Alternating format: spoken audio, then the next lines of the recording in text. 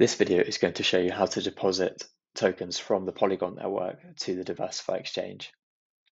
First of all, go to app.deversifi.com and connect your wallet. In this case, I'm going to use desktop and MetaMask. If you haven't connected to DeversiFi before, at this stage, you'll be asked to sign another message that says create your account on DeversiFi. Once you've done that and your wallet's connected, go to the deposit section and pick the asset that you want to deposit. In this case, I'm going to pick USDT. I then switch the network to Polygon so that I can see the funds that I've got available for deposit. I'm going to deposit 100 USDT. At this time, you can deposit USDT, USDC, and DAI from Polygon to DeversiFi. It's a subset of the tokens that are available on DeversiFi.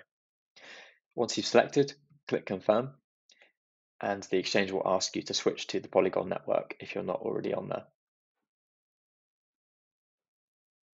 Great, I've already approved uh, USDT for deposit before, so all I need to do is make this final on-chain transaction on the, on the Polygon network, and my funds will be in my DeversiFi account within a few minutes once that transaction is mined on-chain.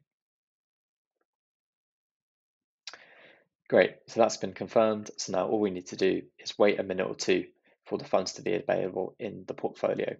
If for some reason you can't see your funds available in your portfolio, just give the page a refresh and you should be able to see them.